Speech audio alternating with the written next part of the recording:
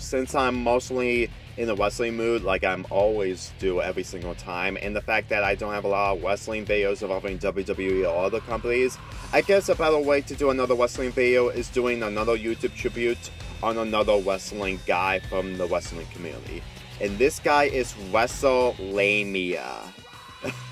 that is the perfect name, to be quite honest. Even though that I completely say that these names for my tap out corner video are completely weird and awkward, but when it comes to this name, I really think that it's probably the best way to describe him in general.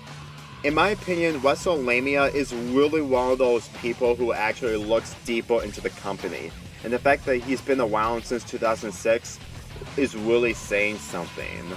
In my opinion, WrestleLamia is really one of those guys who actually looks at the company really closely. And whether he does a top 10 on other materials on wrestlers when it comes to WWE or other promotions, you can really tell that he really does a really good job on looking into depth and the fact that he's a really great wrestling fan. Granted, he is a wrestling fan who wants to look into all the promotions, not just WWE. And believe me, even if by the time of this recording is right after WrestleMania 36, you can tell that no matter what he uploads after this video, he can make something very unpredictable but also in a really great way.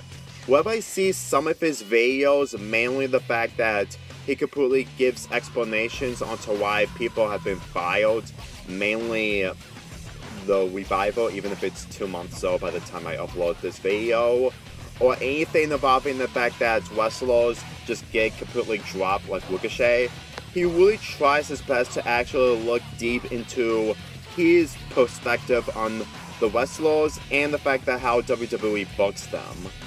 Seriously. I honestly think that his perspective of what he sees in the, the wrestling community or anything that he looks at really sums up onto why he's probably one of the best in the community.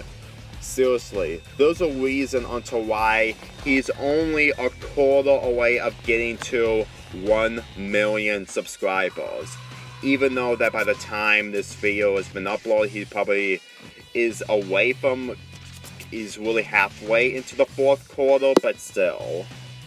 I really think that some people should probably give WrestleLamia a chance if they want to look up wrestling on YouTube.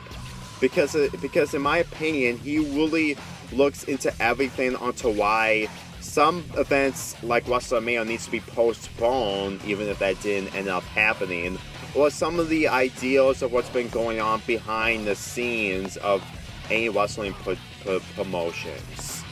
And besides, if you really think that the ideals of just looking at some of his videos onto why a postpone is a good idea, or the fact that cancellation isn't a great ideal, and I say isn't, you can really tell that you should probably see that video in order to understand what WrestleLamia is talking about. Because he's completely going into different social medias like Facebook and Twitter, and the fact that he also really looks into how people are feeling about the situation. Remember when Matt Hardy left WWE or why Bray Wyatt is upset that he lost the Universal Championship against Goldberg at Super Showdown, then go watch his, then go watch WrestleLamia's video so you can understand why. And not only that, this may be unrelated, but I'm just gonna put down something. Uh, he has a second channel called WrestleGamia. This isn't really a double feature whatsoever, but I'm just gonna say that his WrestleGamia channel is basically the same thing, except that it's talking about the video games and not the real life wrestling. It's not a bad thing, it's just him talking about wrestling games, which I will admit, I do watch his videos involving wrestling video games, mainly the fact that even if I don't play them that much anymore, I'm still really curious, especially the 2K20 game. And considering the fact that 2K21 is cancelled, I really think that people are just going to have to stick to WWE 2K19 in 2021. And we're not even halfway into this year yet. Well, well, almost, but still. Uh, well, actually, we are, but at the time of this recording. And I completely botched it up. Yep, of course. Knew this was gonna happen. Anyway, what I actually think that WrestleLamia actually deserves is the is how the wrestling community can learn from him. Similar to Wrestling With Wregret, he completely brings so many interesting ideas to the table that it will really it really makes him really really memorable on how he really looks at any other promotion he comes across.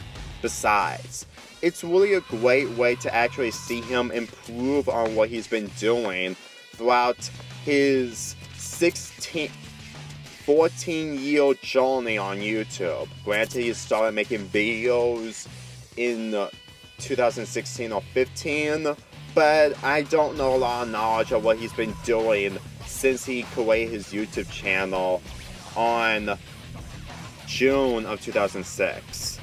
I don't know. It's just that whenever I see people like him completely making the YouTube channel way ahead of time, and it was during a time where ECW was reborn in the worst ways, it just really actually boggles my mind. I know I could do a lot more research about his past, but it's not really the point of this video that much. So WrestleLamia, if you're watching this, which I really appreciate that if you that you did, I really hope that you reach to 1 million subscribers, even if by the time I upload this video, this video was recorded in April. I really still hope that you probably do a good job as you continue making more videos in your future on your YouTube career. I'm Lonely Fanboy 48 here, and I'll see you guys next time.